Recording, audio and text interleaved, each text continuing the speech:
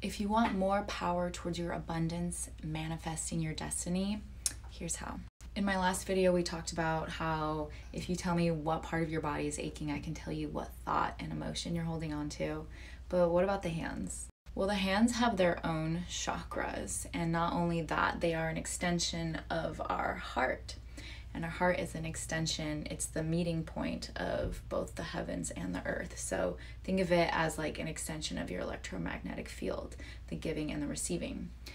The right side, so the right hand, is the masculine, it is this life, and the left hand represents the feminine and past lives.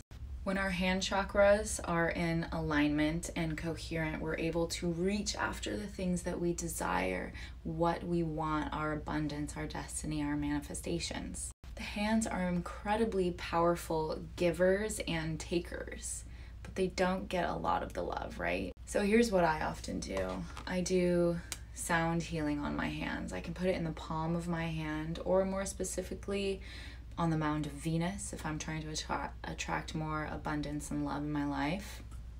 Or you can palm certain crystals, like this selenite is great for cleansing.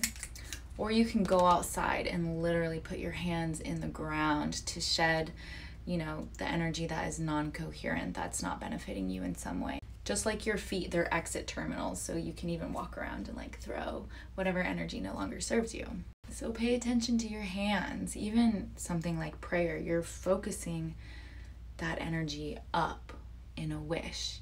Or you can lay it on a point of pain and direct the plasma to start healing. Or you can hold hands with someone. There are so many ways to use our hands. We just have to be more thoughtful about it and give them more attention. Charge up their electromagnetic field so you can start living in your destiny and abundance like you deserve.